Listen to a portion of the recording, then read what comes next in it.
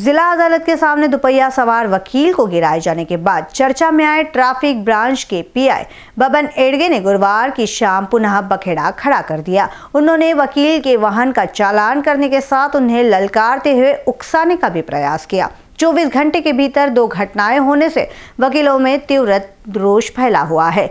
एडगे की निलंबन सख्त कार्रवाई की मांग भी वकीलों द्वारा की गई है। ज्ञात हो कि बुधवार को पीआईएडगे ने अधिवक्ता तहसीन रजाक को दोपहिया से पकड़कर नीचे गिरा दिया था। तहसीन को गंभीर चोट आने के बाद एडगे ने मदद करने की वजह कार्रवाई करने की धमकी दी थी, जिसके बाद जिला अदालत परिसर में वकीलों ने इकट्ठा होकर पुलिस चौकी का घेराव कर एडगे के खिलाफ मामला दर्ज कर बर्खास्त करने की मांग की थी। वकीलों ने सदर थाने में एडगे के खिलाफ शिकायत दर्ज भी कराई, लेकिन किसी भी तरह की कार्रवाई नहीं होने आरोप वकील संगठन में रोष निर्माण हुआ, जिसके बाद उनके द्वारा पुलिस आयुक्त अमितेश कुमार को ज्ञापन देकर कड़ी कार्रवाई की मांग की जाएगी। ऐसी जानकारी डिस्ट्रिक्ट बार एसोसिएशन के पूर्व अध्यक्ष प्रकाश जायसवाल द्वारा दी गई है। आज चार दिन हो रहे हैं कि पुलिस डिपार्टमेंट में और खासतौर पर ट्रैफ़िक डिपार्टमेंट के पीआई येड़गे, इन्होंने एक वकील के साथ बहुत बदतमीजी की, उसको मारा, उसको गिराया, उसको काफ़ी इंजरीज आए, उसके कपड़े फटे।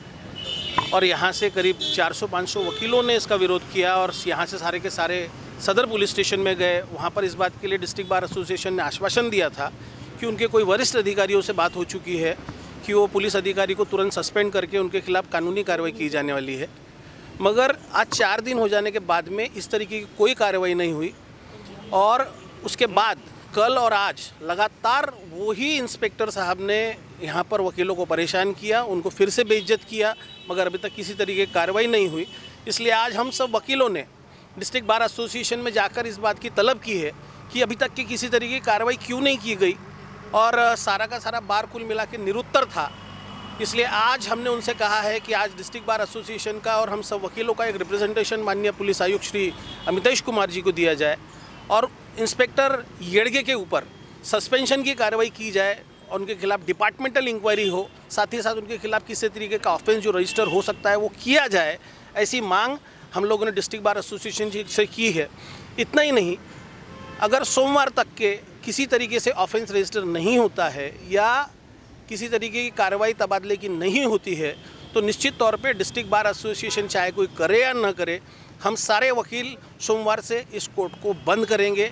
इस बात का हमने एक खुला कार्रवाई करने की जानकारी हमने डिस्ट्रिक्ट बार एसोसिएशन को दी है।